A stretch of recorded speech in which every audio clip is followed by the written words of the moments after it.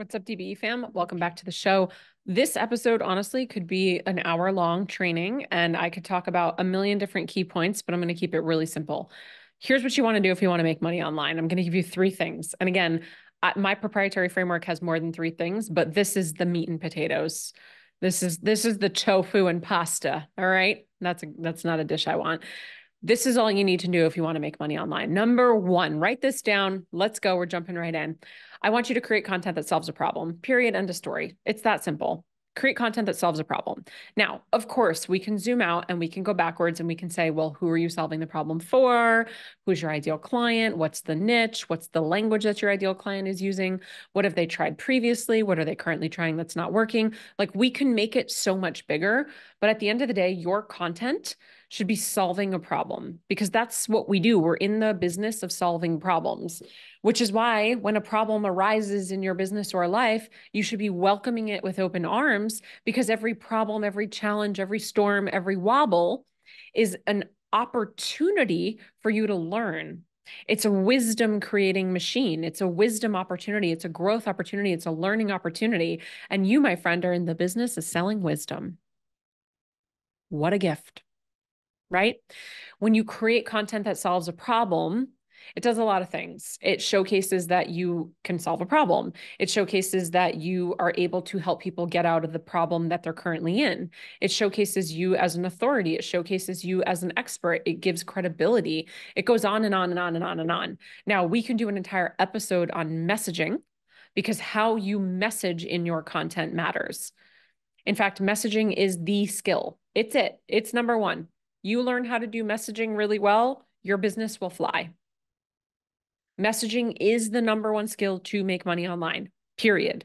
Now, messaging is all encompassing, right? So it's copy, it's storytelling, it's understanding like the client's language and all of these things. There's a lot of pieces to messaging, which is why I said I could do a whole episode on it.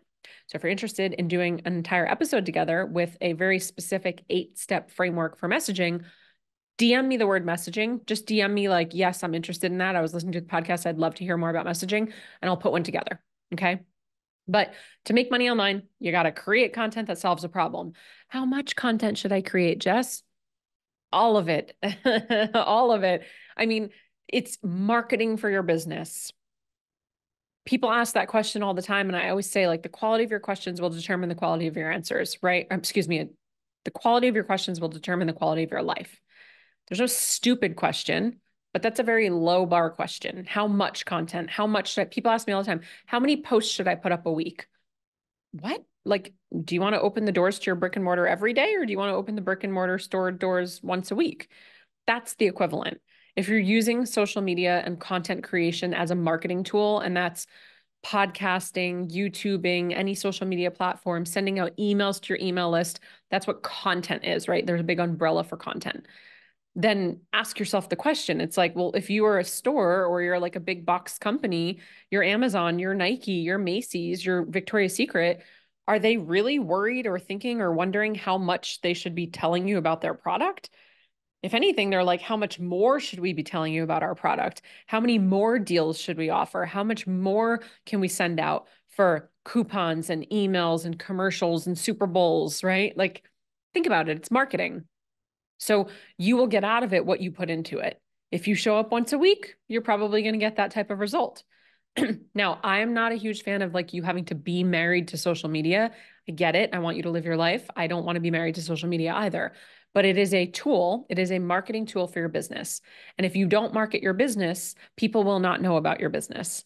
And if you don't market your business, it's like you're winking at people in the dark. So they won't know about it. They're not going to buy from you. You're not going to be making sales. There's not going to be word of mouth retention, excuse me, word of mouth referrals. There's not going to be retention because you don't have repeat buyers, because you don't have first time buyers. You get the picture. So maybe it doesn't have to be you. Maybe you hire someone to help with content. Maybe you have a system. Maybe you use a flow. Maybe you use an automation. Maybe there's different types of content. Maybe you only create the content that really lights you up and you only do that type of content. Maybe someone else is helping you do it. But it's your job. It's it's literally your job to market your business. No one's going to market it for you. So if you want to make money online, step number 1 is create content that solves a problem. Period. Number 2, with that content, also build authority by sharing your story as well as other people's stories. Build authority sharing your story, what you've been through, why you do what you do, what is your brand value, what is your core value, what are the transformations that you've been through, what certifications do you have, why are you in this industry? Share your client stories. What have they been through? How did you get them from A to B? What type of pain were they in? What type of pleasure do they now have? Why did they choose you? Why did they come to you? What wins did they have? This is going to build authority. You know what else builds authority? Consistency. The more consistent you can be in both, yes, showing up and posting, but also in just your messaging, the more consistent you are in your messaging, the more authority it creates. Could you imagine if Starbucks, like one week or one month, it's like coffee, coffee, coffee, coffee, coffee, coffee, coffee, coffee. And then all of a sudden during the holiday season, they're talking about, um, um, I should have been prepared for this analogy and I wasn't. All of a sudden they're talking about underwear. What? Underwear, underwear, underwear. What? I thought Starbucks sold coffee. And then the next month they're talking about pools and how they can like put a pool in your backyard. You're like, okay, now I'm confused. Authority comes from repetition, authority comes from consistency. There's a saying in branding and marketing that I'm going to butcher, but it has something to do with like um it's something around how your your customers, your audience members, your quote unquote followers should be able to repeat back to you what it is that you do. And and the saying goes something like, you know, you know you've made it or you know you've gotten successful in your marketing when your customers are saying what it is. Mm, I butchered it, but it's something like that. And how does that happen? It happens through repetition. Like, how do we all know? Just do it because we've seen it and heard it a lot. How do we all know theme songs to like Disney? Because we've seen it and heard it a lot. How do we all know fill in the blank? When you see it and hear it a lot, then there's the repetition, which creates the authority. It also creates brand trust. Because again, if your brand, Starbucks, sold coffee in January and then underwear in February and then swimming pools in March, you're you're losing trust. You're subconsciously losing trust from people because they don't know what to expect when they go to you. And it's confusing. And it's not confusing because people are stupid. It's confusing because I don't know what you do. I don't know if you can help me. Because in January you could help me, but then February and March, like I definitely was not looking for what you were offering. Right. So create content that solves a problem create and build your brand authority, sharing your story and other people's story, and being really consistent and putting in the reps and doing repetition to create that authority and trust. And then number three, this is the big one. I hope you have your paper out. This is the one. This is the one. This is the one that people don't do or they don't do enough. Are you ready for it? Invite them to work with you. Now, I know I said that like kind of snarky, but people aren't doing that. People aren't actually selling. People aren't letting people know how they can work with them. Your offer is an invitation for people to go deeper. It's an invitation for people to buy your stuff. It's an invitation for people to get their hands on the solution. It's not sleazy. It's not sleazy. Imagine you are a professional tire changer. Like you work in the pit for NASCAR, you're a professional tire changer. And in your car, you not only have a spare tire, but you have all of the tools that you would need. And you have 10 years experience and knowledge, and you could change a tire in under 10 seconds. It's like your jam. And you're out in the desert and you're driving you're in you're in the Utah desert. This happened to us actually. You're in the Utah desert and you haven't seen a dang person or a car for 300 miles. And all of a sudden you see this poor man on the side of the road with a flat tire. And there is no cell phone service and you haven't seen a person or a gas station in 300 miles. And you have all of the tools, quite literally, and the knowledge to help this man change his tire, this old man. Would you drive by? Or would you stop and say, Sir, do you need help? I can help you. I have all the tools. It's going to take me 10 seconds. Step aside. Let me help you. Now, if you're listening to this episode, I know you're a step aside person because you're a service provider. That's what you do. You're a giver, you're an impact driver. Step aside. Let me help you. That is what inviting them to your offer is. Step aside. I have something for you. Oh, you're struggling with that thing? I have a solution. You don't have to buy it. I'm not going to tie you down and make you do it. But if you believe in what you do and you believe in your offers and your products, then you damn well sure should be sharing them on the internet and letting people know that that's how they can be working with you. That's how they can they can solve their problem. That's how they can get to their desired outcome. Right? It's where we go back to saying if you have a solution to a problem, it's your responsibility to share it. If you don't share it, you're stealing, you're robbing people. You're robbing from people. You're stealing their transformation opportunity. Not to mention, if you've really done a great job in your messaging, which I'm thinking we just need to do an episode on this. So I kind of answered my own question, but still DM me and let me know. When you do a really great job in your messaging, you don't have to sell anything. You don't have to sell anything. Messaging creates demand and desire.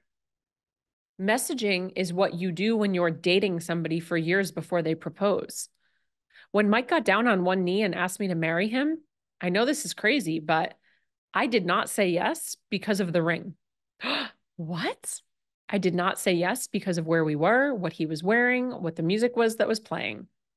I did not say yes because of the weather outside. I did not say yes because of how he asked me. And I definitely didn't say yes because he created a sales page. I said yes because of all of the years of dating beforehand, because during the dating, we had experiences together. We had conversations together, hard conversations. We had great memories together. We built trust together. There was credibility, there was authority. We made stories together. We got to know each other.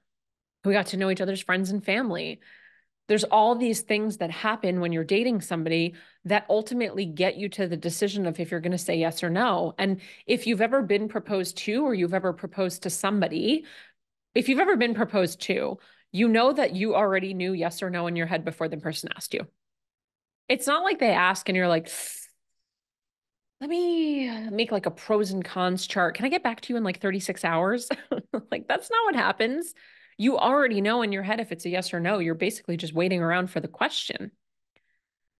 That's exactly what your clients and your audience members are doing too. They already know in their head if it's a yes or no because of the messaging, because of the content that you've been putting out and the problems that you've been helping them solve, because of the authority that you've been creating through sharing your story and other people's story, stories, because of the credibility that you've been putting out because of the trust that you've been building by being consistent and putting in the repetitions and being there for them when they expect you to be there, not whiplashing, selling them uh, underwear and then selling them, you know, swimming pools and tree houses.